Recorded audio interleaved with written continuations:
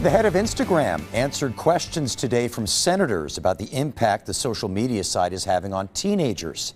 Many are demanding the company make drastic changes, and they are aiming to implement federal legislation to help that become reality.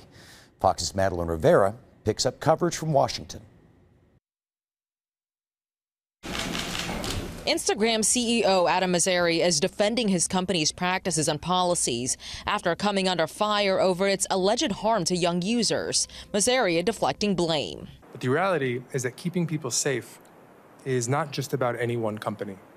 An external survey just last month suggested that more teens are using TikTok and YouTube than Instagram. It's his first appearance before Congress, and it comes after internal documents leaked by Facebook whistleblower Frances Haugen earlier this year showed the site's parent company Meta, formerly known as Facebook, knew the platform triggered body image and mental health issues in some teenage girls. Lawmakers demanding to know more about the app's design.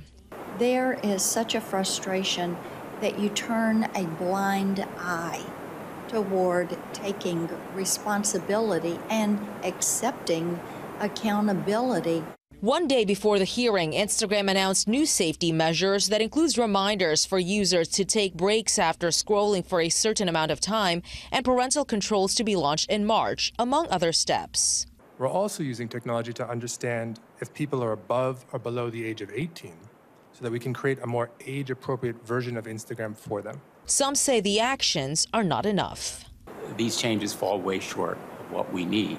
Congress says it's working on bipartisan legislation to better keep children safe online, regulations that Instagram says it's supporting too.